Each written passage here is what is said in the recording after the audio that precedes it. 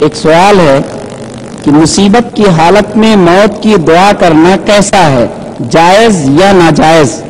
نیز موت کی تمنا کا کیا حکم ہے؟ بھائی صاحب کا سوال یہ ہے کہ مصیبت کے وقت موت کی تمنا کرنا یا دعا کرنا کیسا ہے؟ اللہ کے رسول صلی اللہ علیہ وسلم کا فرمان ہے، صحیح بخاری کی حدیث ہے کہ لا يتمنين احدكم الموت من غير اصابه فان كان لا بد فاعلا فليقل، اللهم احيني ما كانت الحياه خيرا لي، وتوفني اذا كانت الوفاه خيرا لي.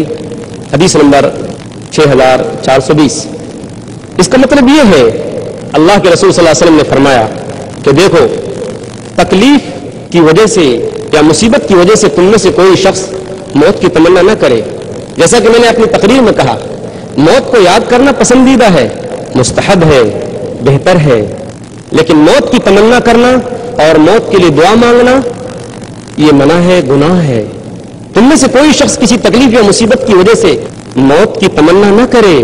فَإِنْ لا بد فلیقل اور اگر اس کے بغیر کوئی چارہ نہ ہو تو کہے، اے اللہ، تو اس وقت تک مجھے زندہ رکھ، جب تک زندہ رہنے میں میرے لیے بھلائی ہو۔ اے اللہ، تو مجھے اس وقت موت دے دے، جب موت میرے لیے بھلائی ہو۔ شکریہ، جزاک اللہ۔ Shams Durrani.